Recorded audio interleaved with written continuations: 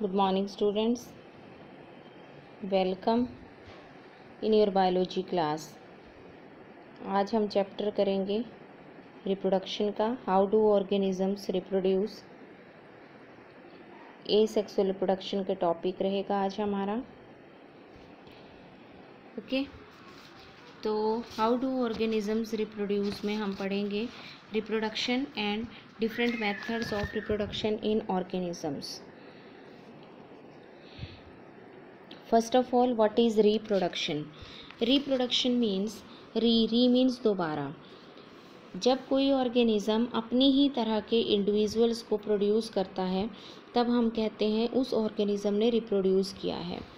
तो reproduction is the process of production of different types production of organisms और individuals of own type by an individual organism जो होते हैं, सबका एक बेसिक बॉडी डिज़ाइन है। और बेसिक बॉडी डिज़ाइन उनके ब्लूप्रिंट जो कि उनका डीएनए में स्टोर्ड है, उसकी वजह से होते हैं जेनेटिक मटेरियल जो कि डीएनए है deoxyribose nucleic acid DNA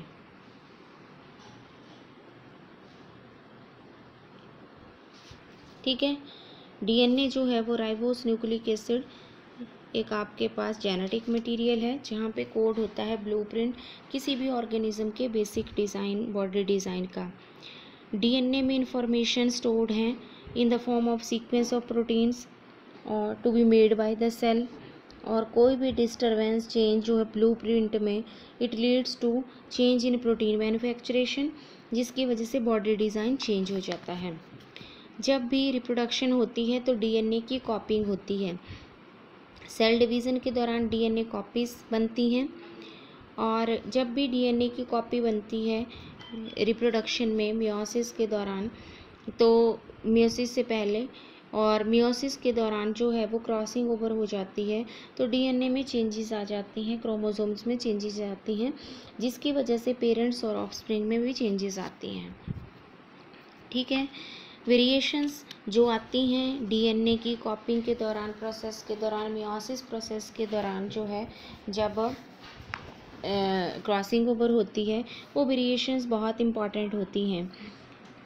किसी भी हैबिटाट हैबिटेट में एक पर्टिकुलर पॉपुलेशन जो है ऑर्गेनिजम्स की रहती है, हर एक पॉपुलेशन में जो है वो रिप्रोडक्शन जो है वो लिंक करती है स्टेबिलिटी ऑफ़ ऑर्गेनिज्म से। जैसे बैक्टीरिया जो है वो किसी टेम्परेट वाटर में रहते हैं। अगर ज़रा सा भी टेम्परेचर इंक्रीज़ होता है तो वो से डाई हो जाते हैं ग्लोबल वार्मिंग की वजह से।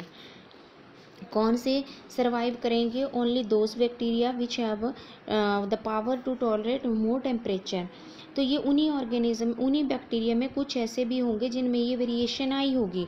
और ये वेरिएशन इस टाइम इनको हेल्प कर रही है सर्वाइव करने में। तो variations are very important with the changing environment to cope up with the environment और सर्वाइवल के लिए बेटर सर्वाइवल के लिए. अब अगर हम रिप्रोडक्शन की बात करें तो जनरली रिप्रोडक्शन जो है हमारे पास दो तरह की होती है. एक होती है सेक्सुअल रिप्रोडक्शन और एक होती है asexual reproduction sexual reproduction और asexual reproduction sexual reproduction और ए सेक्सुअल रिप्रोडक्शन में ये डिफरेंस है. कि ए सेक्सुअल रिप्रोडक्शन में only one single individual involve होता है पेरेंट के रूप में, यानी ये यूनी पेरेंटल होती है। और जो दूसरी रिप्रोडक्शन है सेक्सुअल इसमें बाई पेरेंटल होती है टू पेरेंट्स होते हैं with opposite sexes asexual reproduction के बहुत सारे मेथड्स हैं, जैसे fragmentation fission regeneration budding vegetative propagation spore formation etcetera अब अगर हम फिज़न का एग्ज़ाम्पल लेते हैं फिज़न ए सेक्सुअल रिप्रोडक्शन में तो फिज़न क्या है? फिज़न यूनिसेलुलर ऑर्गेनिज्म में प्रोसेस होती है। ये बैक्टीरिया का आपको एग्जांपल दिखा रखा है अमीबा का सॉरी अमीबा में सबसे पहले न्यूक्लियस इलोंगेट होगा। न्यूक्लियस के दो पार्ट होंगे तो साथ ही साथ जो है साइटोप्लाज्म की डिवीज़न स्टार्ट हो जाएगी। फिर इस तरह से न्यूक्लियस भी दो में डिवाइड हो जाएगा और साइटोप्लाज्म भी, और एक ऑर्गेनिज्म से दो ऑर्गेनिज्म बन जाएँगे।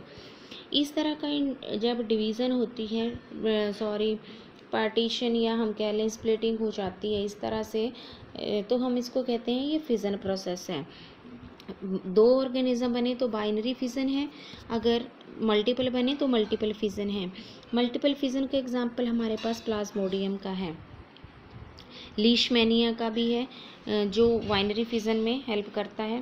प्लाज्मोडियम जो है, ये मलेरियल पैरासाइट है। प्लाज्मोडियम इज़ मलेरियल पैरासाइट आपको पता ही है मलेरिया कॉज करता है ये। ये मल्टीपल फिज़न में जाता है। बहुत सारे डॉटर सेल एक टाइम पे जो है वो ये प्रोड्यूस करता है। फिर ईस्ट जो है, ये भी एक फंगस है। ये स्मॉल बर्ड्स देती है और फर्मेंटेशन प्रोसेस जो है वो इससे होती है। फ्रेगमेंटेशन फ्रेगमेंटेशन इसमें सिंपल मल्टी सेलर ऑर्गेनिज्म इस मेथड से डिवाइड करते हैं। जैसे फॉर एग्जांपल हमारे पास है spirogyra spirogyra it is the काई बोलते हो जिसको आप। दैट इज़ जो कि वाटर बॉडीज़ पे आपको बहुत मिलती है। ये फिलामेंटस होती है फिलामेंट्स होते हैं इसके। इसके फिलामेंट्स सिंपली ब्रेक कर जाते हैं इस तरह से। और जहाँ से ब्रेक करते हैं, वहीं से नया स्पायरोगायरा जो है ओरिजिनेट हो जाता है। इसको हम फ्रेगमेंटेशन कहते हैं। इसके बाद हमारे पास आता है रीजनरेशन और रीजनरेशन का एग्ज़ाम्पल आपके पास है प्लेनेरिया ये बहुत इंपॉर्टेंट एग्ज़ाम्पल है, जो आपको पूछा भी जाता है एग्ज़ाम्स में। रीजनरेशन का। बॉडी पार्ट्स जो हैं, वो नए इंडिविजुअल्स बनाते हैं रीजनरेट हो जाते हैं। इसमें जो भी इंडिविजुअल है मल्टी सेलर ऑर्गेनिज्म जैसे हाइड्रा हो गया प्लेनेरिया हो गया, ये सारे इसके एग्जांपल्स हैं।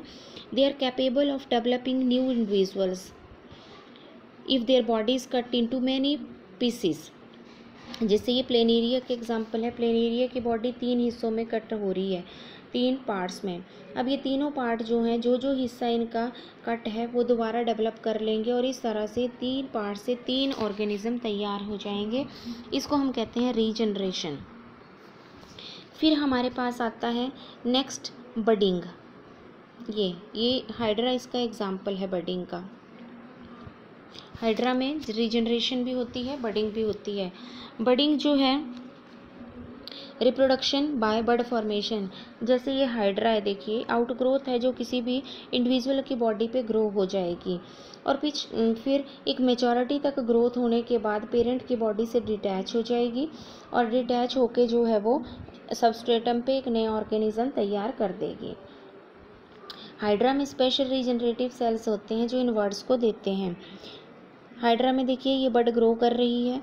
ग्रो करी, एक मेचोरिटी की स्टेज पे पहुँचने के बाद यहाँ से डिटैच हो जाएगी और नया हाइड्रा जो है वो प्रोड्यूस कर देगी। फिर अगला मेथड हमारे पास आता है स्पोर फॉर्मेशन का। और स्पोर फॉर्मेशन का जो मेथड है, ये जनरली फंगस में अप्लाई होता है। फंजाई जो हैं, वो स्पोर प्रोड्यूस करते हैं। जैसे राइजोपस ब्रेड मोल्ड इसका बहुत अच्छा एग्ज़ाम्पल है हमारे पास। ये ब्रेड मोल्ड इस तरह से इनमें स्पोरेंजिया लगे होते हैं। स्पोरेंजिया के अंदर स्पोर्स होते हैं।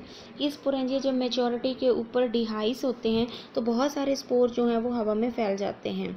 ये स्पोर जब भी इनको कोई भी मॉइस्ट सबस्ट्रेटम मिलता है कंडीशंस मिलती है फेवरेबल कंडीशंस मिलती हैं अपनी ग्रोथ के लिए, वहाँ पे जर्मिनेट हो जाते हैं और नई फंगस को बना देते हैं। इस तरह से ये स्पोर फॉर्मेशन मेथड फंगस में अप्लाई होता है। फिर हमारे पास आता है लास्ट में वेजिटेटिव प्रोपिगेशन वेजिटेटिव प्रोपिगेशन का क्वेश्चन भी बहुत इंपॉर्टेंट है पेपर में आता है.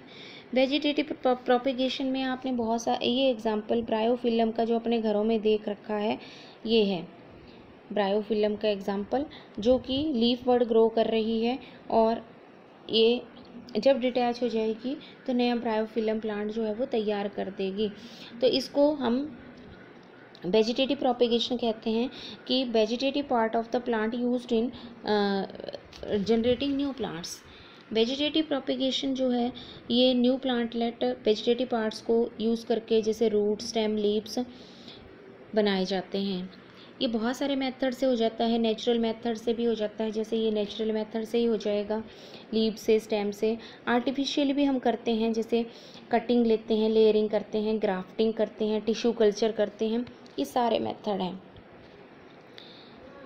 अब ये जो प्लांट्स हैं, ये रूट से ग्रो कर लेंगे। हम डिजीज्ड प्लांट जो होंगे, अगर हम एडवांटेजेस देखें इनकी, कि वेजिटेटिव प्रोपिगेशन की क्या क्या एडवांटेजेस है तो वो आपको कुछ इस तरह से मिलेंगी। ये बहुत इंपॉर्टेंट क्वेश्चन है। पहला है कि जो प्लांट पार्ट सर्टेन प्रोसेस में रिप्रोडक्शन में काम आते हैं तो वेजिटेटिव पार्ट्स को हम यूज़ करते हैं हेल्दी वेजिटेटिव पार्ट्स को।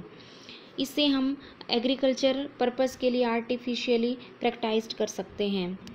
डिजीज़्ड प्लांट से हम हेल्दी प्लांट प्रोड्यूस कर सकते हैं। रेयर हैं जो प्लांट जो कि थ्रेटन स्टेज में हैं, उनको हम ग्रो करवा सकते हैं उनको बचाने के लिए। जेनेटिकली सिमिलर प्लांट्स हम उनके पेरेंट्स की तरह बिल्कुल प्रोड्यूस कर सकते हैं इस मेथड से, जिनमें कोई वेरिएशन नहीं होगी और क्वालिटी जो है उस प्लांट की मेंटेन रह जाएगी। तो इस तरह से ये वेजिटेटिव प्रोपेगेशन का है। ए सेक्सुअल रिप्रोडक्शन ओवर हो गया। Thank you have a nice day